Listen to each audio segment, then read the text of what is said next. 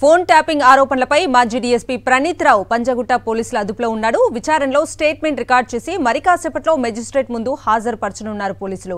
విచారణలో భాగంగా ప్రణీత్ రావు సెల్ ఫోన్లను స్వాధీనం చేసుకున్న పోలీసులు వాటిని ఫోరెన్సిక్ పరీక్షల కోసం ఎఫ్ఎస్ఎల్కు పంపించారు. అందులో ఉన్న డేటా మొత్తాన్ని పోలీసులు రీట్రైవ్ చేయనున్నారు. గతంలో ప్రణీత్ వాడిన సిమ్ కార్డులను కూడా పోలీసులు స్వాధీనం చేసుకున్నారు. ప్రణీత్ వ్యవహారంలో సిటీ పోలీసులతో పాటు ఎఫ్ఎస్ఎల్ టీంతో ప్రత్యేక బృందాలు దర్యాప్తులో పాల్గొంటున్నాయి. ఇప్పటికే రెండు రోజుల పాటు ఎస్ఐబిలో దర్యాప్తు చేసిన పోలీసులు కీలక ఆధారాలు సేకరించారు.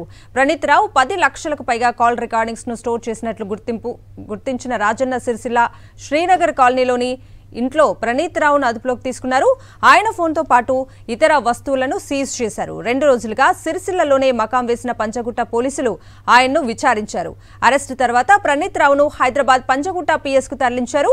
ప్రణీత్ రావు ప్రతిపక్ష నేతల ఫోన్ ట్యాపింగ్ చేసినట్లు ఆరోపణలు ఉన్నాయి. ఎస్ఐబి అడిషనల్ ఎస్పీ రమేష్ ఫిర్యాదు మేరకు కేసు నమోదు చేసి దర్యాప్తు చేస్తున్నారు. అయితే ఎస్ఐబిలో ప్రణీత్ రావుకు సహకరించిన అధికారుల పాత్రపై కూడా పోలీసులు విచారిస్తున్నారు. ఇక ఇదే అంశానికి సంబంధించిన పూర్తి అప్డేట్స్ని పంజగుట్ట పోలీస్ స్టేషన్ నుంచి మా ప్రతినిధి సుస్మిత లైవ్లో అందిస్తారు. సుస్మిత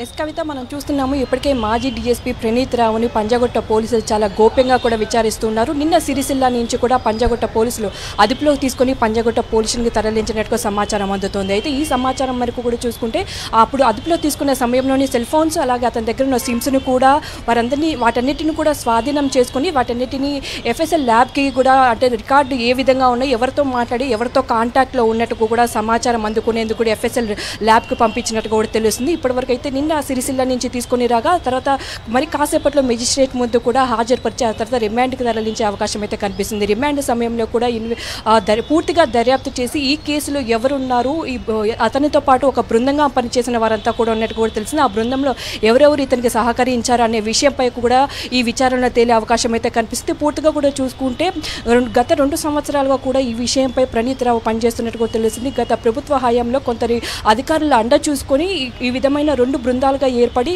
కొంతమంది బృందాలుగా ఏర్పాటు చేసుకుని ఎస్ఐబిలో రెండు ప్రత్యేక గదులను ఏర్పాటు చేసినట్టుగా తెలుస్తుంది. ఆ గదులలో కూడా పదిహేడు సిస్టమ్స్ని ఏర్పాటు చేసుకుని పూర్తిగా ప్రతిపక్ష నాయకులు అలాగే రియల్టర్స్ వాళ్ళ ఫోన్ ట్యాపింగ్ రికార్డ్స్ని మొత్తం రికార్డ్ చేసినట్టుగా కూడా చెప్తూ ఉన్నారు. పదహారు పది లక్షల రికార్డింగ్స్ ఇప్పటి వరకు ఫోన్ ట్యాపింగ్ చేశారు. అయితే ఎప్పుడైతే గత డిసెంబర్ నాలుగున అసెంబ్లీ నియోజకవర్గాలకు సంబంధించిన ఫలితాలు వచ్చాయి ఆ రాత్రి నాలుగవ తేదీ రాత్రిని పూర్తిగా హార్డ్ డిస్కులను కానీ ఐఎంఏ నెంబర్లను పూర్తిగా ట్రాష్ చేసినట్టుగా కూడా చెప్తూ ఉన్నారు. అయితే ఈ సమయంలో ఇప్పటికే ఏదైతే హార్డ్ డిస్క్లో ఉన్న సమాచారం ఉందో ఆ సమాచారంని రీట్రైవ్ చేసే పనిలో పంజాగుట్ట పోలీసులను ఒకవైపు అతని మొబైల్స్ కానీ మరో మరోవైపు సిమ్స్ కానీ ఈ హార్డ్ డిస్క్కి సంబంధించిన పూర్తిగా డేటా రికవరీ చేస్తే ఎవరెవరి ఫోన్లు ట్యాబ్ ట్యాంపరింగ్ చేశారు అలాగే దానికి సంబంధించి ఎవరెవరు ఇందులో రాజకీయ నేతలు ఎవరున్నారు రియల్టర్స్ ఎవరున్నారు పూర్తి విచారణ బయటకు వచ్చే అవకాశం అయితే కనిపిస్తుంది. అయితే పంజాగుట్ట పోలీసులు ప్రస్తుతం విచారణ చేస్తున్నారు. మరి కాసేపట్లో మెజిస్ట్రేట్ ముందు హాజరుపరిచిన అనంతరం కూడా రిమాండ్కి తరలించిన మరిన్ని కీలక విషయాలు ఈ విషయం విషయంలో బయటకు వచ్చే అవకాశం అయితే కనిపిస్తుంది. ఒకవైపు ప్రణీతరావు ఉన్నారు. అతని వెనుక చాలా మంది ఉండే అవకాశం ఉన్నట్టు కూడా పోలీసులు